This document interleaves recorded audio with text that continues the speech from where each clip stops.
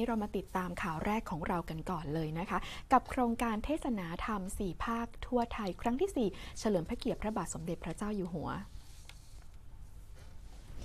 พระบาทสมเด็จพระเจ้าอยู่หัว พระราชทาน พระบรมราชานุญาต ให้โครงการทุนเล่าเรียนหลวงสำหรับพระสงฆ์ไทย จัดกิจกรรมโครงการเทศนาธรรมสีภาคทั่วไทยขึ้น เพื่อเผยแพร่หลักธรรมคำสอนทางพระ พุทธศาสนา ในรูปแบบของการแสดงพระธรรมเทศนาในภูมิภาคต่างๆ ได้แก่ ภาคเหนือ ภาคกลาง ภาคตะวันออกเฉียงเหนือ และภาคใต้ รวมจำนวนสีครั้ง เพื่อเฉลิมพระเกียรติ เนื่องในโอกาสพระราชพิธีมหามงคลเฉลิมพระชนมพรรษา 6 รอบ 28 กรกฎาคม 2567 โดยทรงพระกรุณาโปรดเกล้าโปรดกระหม่อม พระราชทานผ้าไตรในการจัดกิจกรรม ครั้งละ 14 ไตร รวมทั้งหมด 4 ครั้งจำนวน 56 ไตร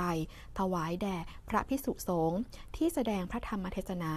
และพระพิสุสงฆ์ที่เจริญพระพุทธมนต์ ทั้งนี้นะคะการจัดเทศนาธรรม 4 ภาคทั่วไทยครั้งที่ 4 หนกลาง ซึ่งความหมายของหนกลางนั่นก็คือภาคกลางค่ะ มีกำหนดจัดขึ้นณศูนย์ประชุมแห่งชาติสิริกิตแขวงคลองเตยเขตคลองเตยกรุงเทพมหานคร ในวันอาทิตย์ที่ 7 กรกฎาคม 2567 โดยกิจกรรมประกอบไปด้วยการแสดงพระธรรมเทศนา และการแสดงศิลปะวัฒนธรรมท้องถิ่น รวมถึงการเจริญพระพุทธมนต์ จึงขอเชิญชวนประชาชนเข้าร่วมพิธีในวันและสถานที่ดังกล่าว การแต่งกายสำหรับประชาชนทั่วไปนะคะ ให้แต่งกายด้วยชุดไทย ชุดผ้าไหม หรือชุดสุภาพโทนสีเหลืองหรือสีขาวค่ะสำหรับข้าราชการนะคะ แต่งกายเครื่องแบบปกติกากีคอพับค่ะ